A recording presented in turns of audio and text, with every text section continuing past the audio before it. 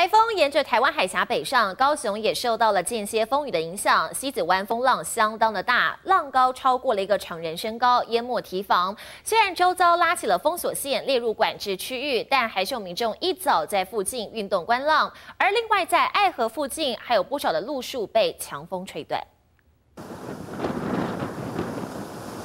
海浪持续拍打，激起大量水花，浪高超过一个成人身高，堤防几乎被淹没，完全没有行走空间。受到台风米克拉影响，高雄西子湾风浪相当大，附近早已拉起封锁线，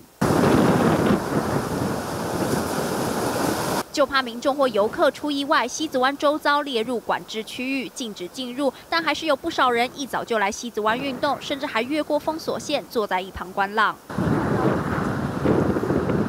台风米克拉对高雄造成的雨量不惊人，但强阵风让民众很有感。我觉得风很大，好像好像台湾有进来的样子啊，蛮大的。昨天风声也蛮大的，风大到让树木被接连吹断，横倒路上，用路人经过还必须绕道而行。风大，然后就折折断了吧？有公务员在照相。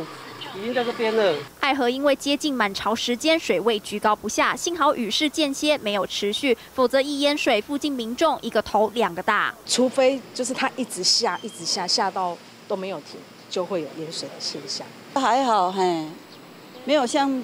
预期的那样那么严重吧？所幸米克拉台风没有直扑台湾本岛，但气象局也提醒，澎湖、金门、云林以南有局部大雨几率，民众外出务必当心留意。记者梁教伟、王超群高雄采访报道。